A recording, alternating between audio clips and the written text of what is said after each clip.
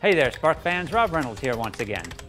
In the movie Meet the Robinsons, the classic tale of a young budding engineer trying to find his way in the world, even when our protagonist Lewis fails catastrophically trying to impress a family with his latest invention, he's told by them, in fact quite boldly and regally as a matter of fact, to keep moving forward. Now, if Lewis, from standing still in his mopey sad state, does in fact decide to move forward, well that's acceleration. Any change in velocity or direction. And of course, like everything in the world, we want to be able to measure that, to quantify it, and that's done with an accelerometer. The first commercial accelerometer was made available in 1943, and it used Rochelle salt crystal for its sensor. Oh man, we have come a long way in the last 79 years, and that journey has led us to this. Introducing the new SparkFun Triple Axis Accelerometer, available in two formats, either our standard 1 inch by 1 inch board or our new super small micro board. This board uses the BMA 400 from Bosch Sensortec. This ultra-low power chip can run off of a supply voltage range from 1.72 to 3.6 volts with a current consumption of less than 14.5 microamps at the highest performance settings. It offers selectable acceleration ranges of plus or minus 2, 4, 8, and 16 G, and has an output data rate range of 12.5 to 800 Hz in normal mode and 25 Hz in low power mode. Additionally, there are half a dozen on-chip interrupt features, auto low power or auto wake up, step counter, activity recognition such as walking, running, or standing still, motion detection, orientation detection, and tap or double tap. Now the standard Qwiic breakout board has a pair of horizontal Qwiic connectors as well as the pins broken out at 0.1 inch spacing for breadboarding.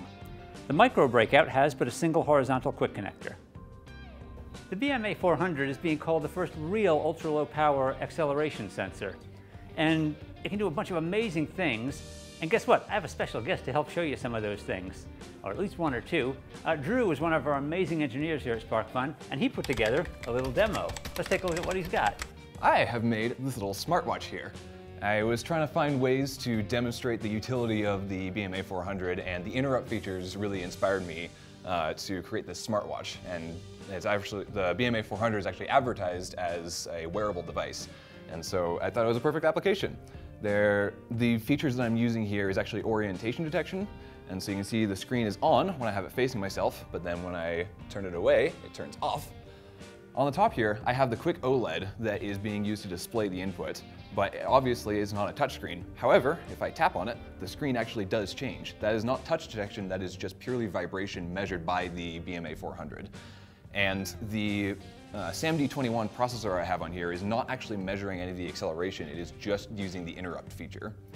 One of the other fun features of the BMA 400 is the step counting.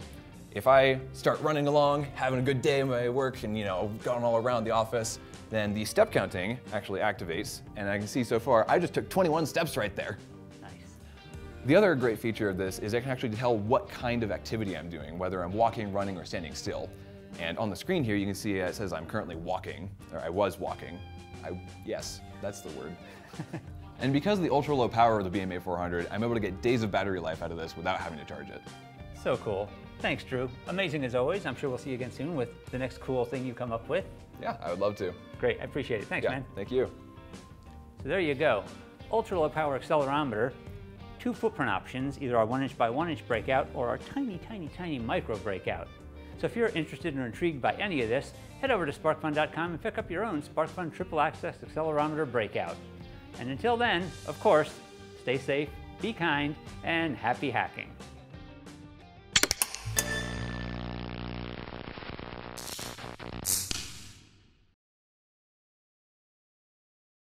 And because of the super low, ultra low, whatever. Is it a technical term? I don't know. And the last great thing is that because it's such low power, this watch will last days on end without me ever having to charge it. Bump. Amazing. Who put this table here? it wasn't there when we started, I swear. And because of the super low ultra, doesn't I don't think it matters, but I'm bothered by it.